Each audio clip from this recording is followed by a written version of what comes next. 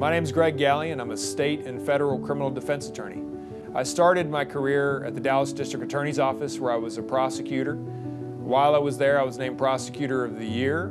I left and went to a criminal defense firm at the time where I stayed for three and a half years. At that time, I was handling only state and federal criminal defense matters. Back in 2019, I decided that I needed to start my own firm. I thought things could be run a little bit differently, a little bit better.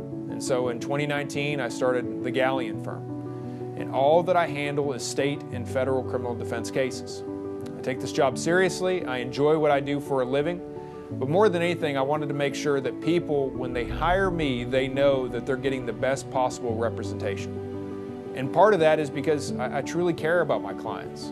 I want to make sure that they're able to move on with their lives, that whatever mistake they may have committed or even worse may not have committed isn't going to haunt them for the rest of their life. And so if you've got a question, if you have a concern, if you think you have a criminal case pending against you and you want some honest feedback and some honest direction about where to take your case and what the next steps are, give us a call. We'll discuss your case for free. And I look forward to speaking with you.